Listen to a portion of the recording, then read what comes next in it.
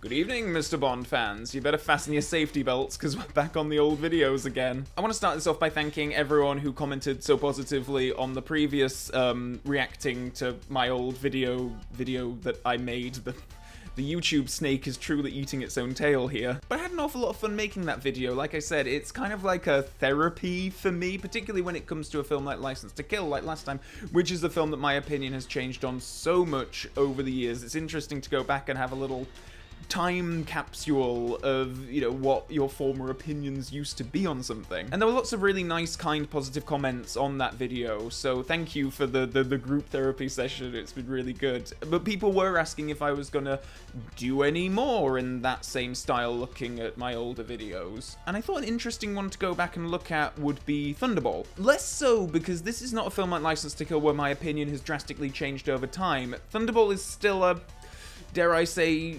bottom five Bond film for me, despite Daniel Craig's best intentions to completely monopolize that category. But this video, when it was first uploaded way back when, when I was just starting up, when I was a budding YouTuber back in, back in my university days, this was the first video that ever did anything like, you know, numbers wise when it came to YouTube views. And I think a good deal of those numbers were for the wrong reason because this was the first video that I was going around on the Bond messaging boards and kind of being deliberately quite petulant about, I, I at that time anyway, Thunderball for me was a film that I'd only ever heard people rave about that I didn't like very much. And I feel like the tide has turned on, on, that opinion. I do know that there are a lot of people who share that similar opinion as me, but growing up as a young Bond fan, all the books that I read would talk about Thunderball as this revered thing on the same level as Goldfinger. Goldfinger, a film that I love very much.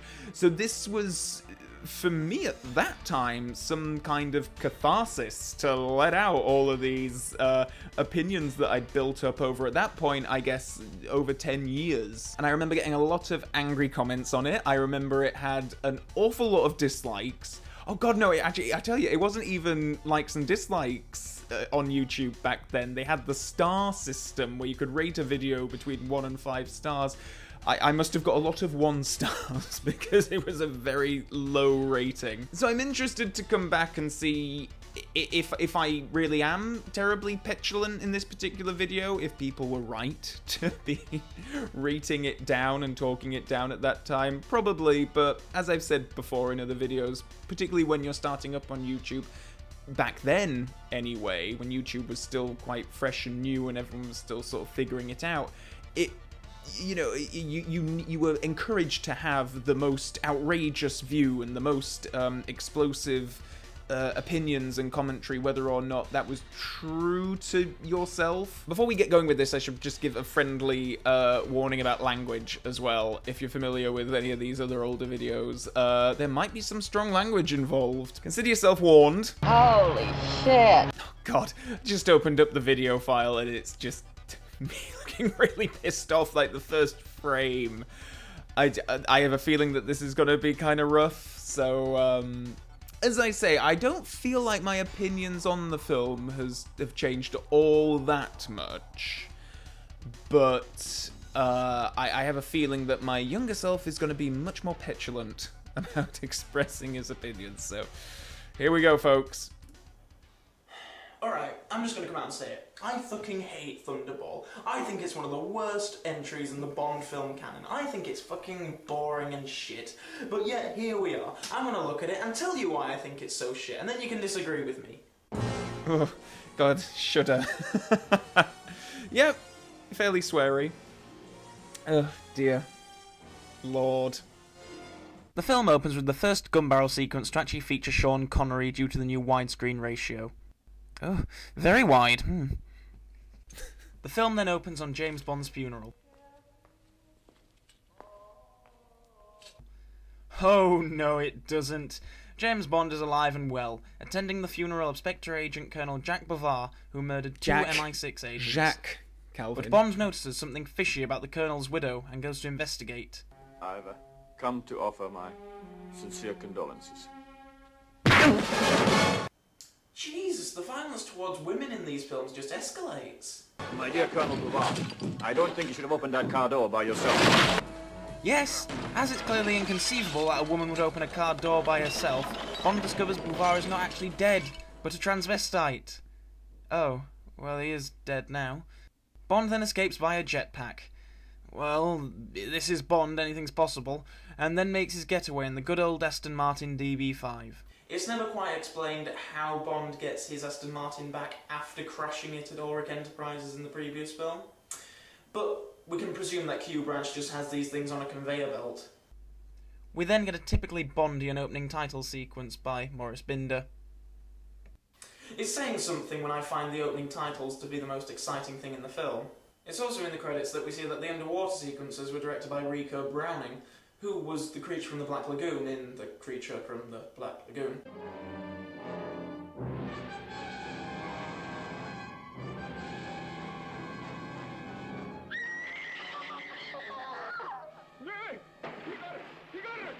We see Terence Young returning to direct, and we also see that the film is produced by someone who isn't Broccoli or Saltzman, Kevin McClory. This was due to a big legal thing which I'll go to the effort of explaining in another video. The film proper follows the credits and we're introduced to our main villain, Emilio Largo, and see that he is a member of Spectre, a faceless Blofeld back once again. We then cut to James Bond relaxing at a health spa. While receiving a massage from token sexy doctor woman Patricia Fearing, Bond notices Count Leapy, a suspicious man with a criminal tattoo. Bond Lippe? proceeds to search Leapy's room, Lippe? but he's seen by Leapy's bandaged neighbour, who later tries to murder Bond with a spinal traction machine, but only after Bond attempts molesting Patricia Fearing. Attempts molest. Also, I'm surprised that I didn't show any clips of the spinal therapy machine, whatever that is. Oh no, I do. Okay, here we are.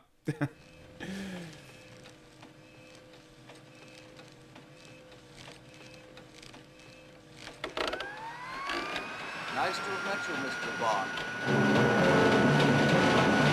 I really need to rewatch this film again sometime soon. I haven't seen it in a couple Fortunately, of years the now. murder attempt is foiled by Fearing. Somebody's gonna wish the day had never happened. Well, you wouldn't tell Dr. Wayne. Please. I'd lose my job.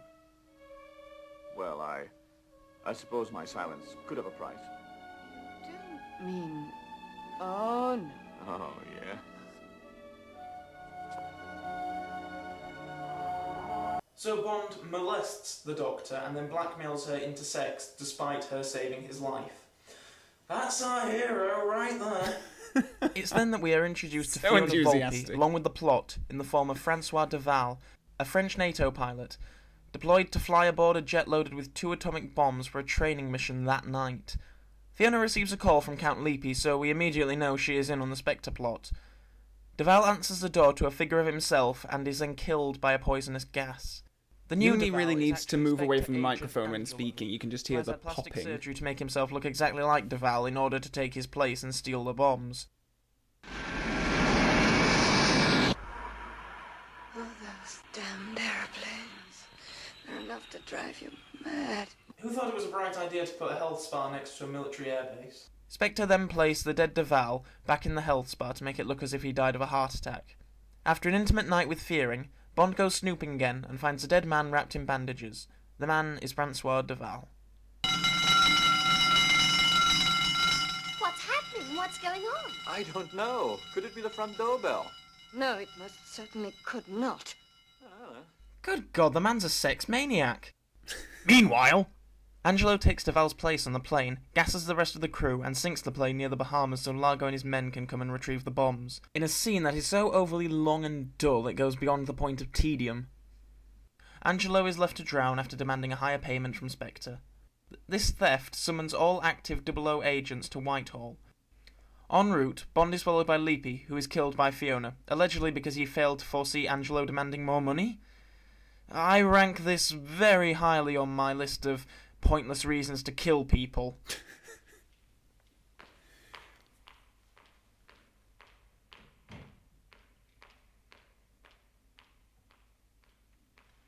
Well, now that we're all here, It's pretty cool to see Bond debriefed in a giant conference room with eight of the 00 agents. It really makes this situation feel like a real threat. At the meeting, Bond recognises a photo of Derval as the corpse he had seen at the health spa. Bond requests M sends him to the Bahamas to meet Derval's sister, Domino. As Bond is leaving M's office, this happens. Smashing figure. Oh, the hat thing. has anything to do with your request. It's bothered me forever, this thing. Now, James, you can't pull the wool over my eyes. You may be able to con the old man, but I know better. I can...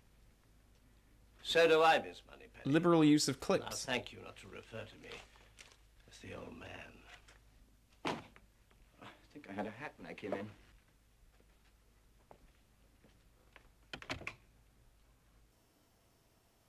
That that thing with the hat is that is that meant to be a joke? If it is, it's downright Python-esque. I don't get it. I mean, I genuinely don't understand. We saw Bond hang up his hat when he came in. What, did someone steal his hat? Why does anyone question this? Doesn't Bond wonder where it is? Did Q steal it as revenge for destroying all his gadgets? Did Moneypenny take it to add to her 007 shrine? What the hell?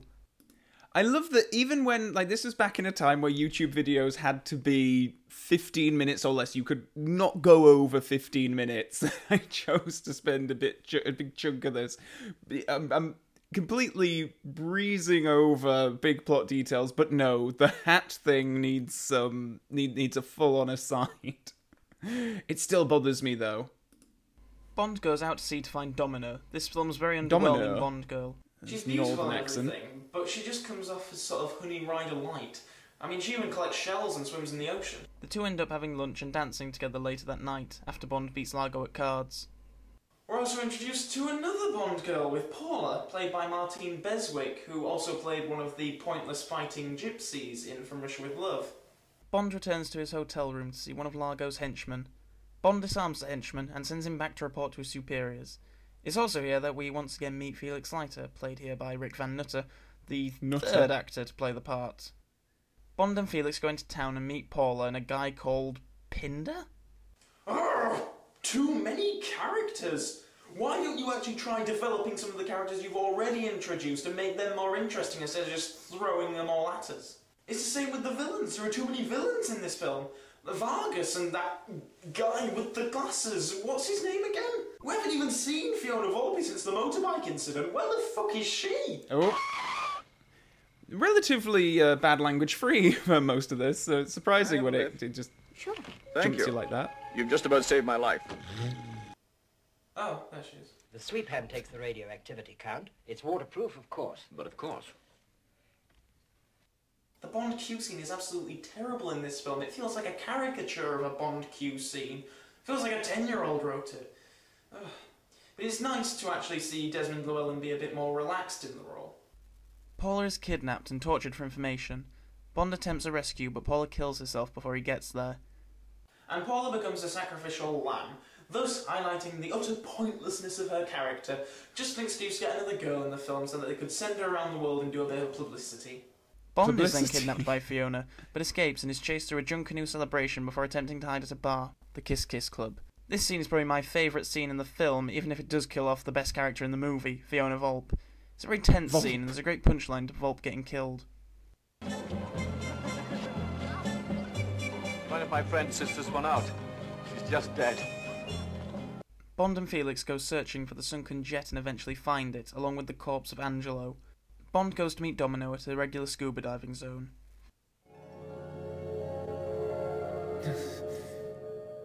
really, really, really let the clips run in some of these videos, despite the lack of, you know, YouTube running time at that time. it's, uh, I'd like to see how that sex scene would work, considering all the scuba gear and goggles and such.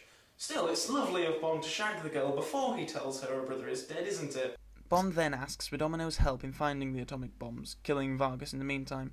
She agrees, and Bond gives her a Geiger counter to look for the bombs with, while he disguises himself as one of Largo's henchmen. Largo finds out about Domino and locks her in a room on his ship.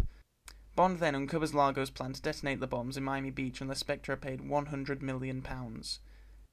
Bond's cover is blown by Largo, but he escapes and is rescued by Leiter, who then orders a unit of United States Coast Guard sailors to parachute to the area for an underwater battle against Spectre. Believe me, this sounds more interesting than it actually is. Of course, Bond goes in to join the battle. And the kitchen sink. I knew everything looks good. Is that Felix flirting with Bond?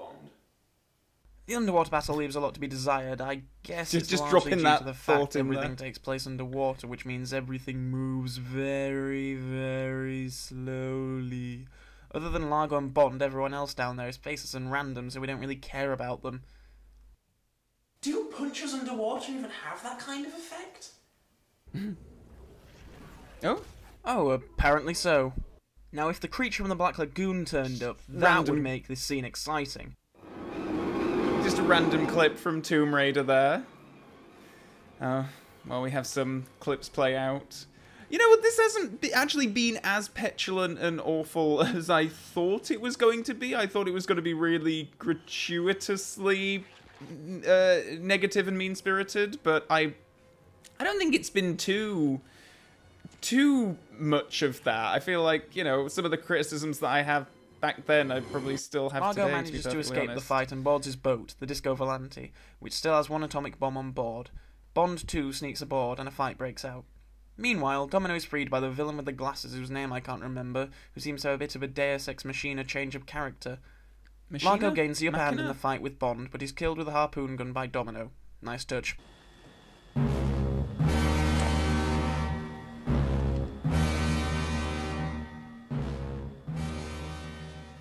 Have a feeling though that the the language will probably escalate as I get to the wrap up in a in a few in about a minute or something.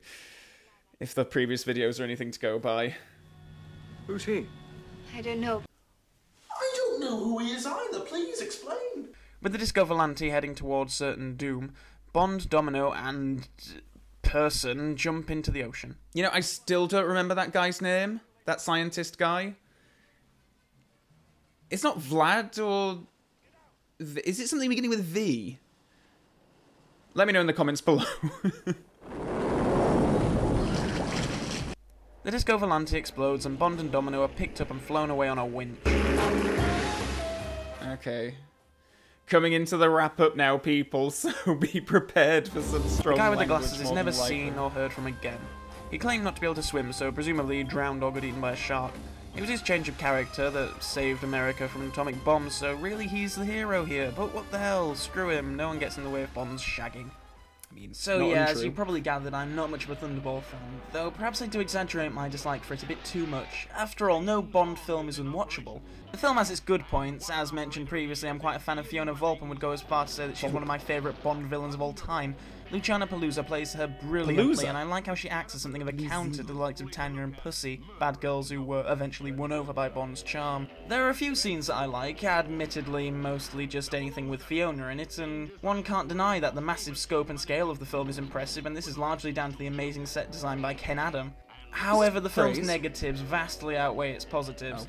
Most of the action sequences feel forced and crowbarred in. The same can be said for many of the characters, Paula, Pinder, and Vargas, for example. All are really pointless additions to the Bond team, and they just come off as being lifeless and dull. Largo is a very boring villain, and Domino an equally boring Bond girl.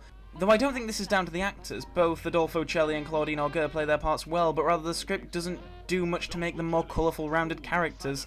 The underwater sequences are very well photographed, and Ricou Browning does a good job with a lot of the underwater direction. However, everything moves so damn slowly, it's difficult to get excited about any of the action that goes on. Thunderball has gone on to be the most successful Bond film of all time when accounting for inflation. I've heard a lot of people attest this to its supposed brilliance. To that I say, fuck off. Goldfinger was the reason people went to see Thunderball because people were expecting and hoping for a film as amazing as that.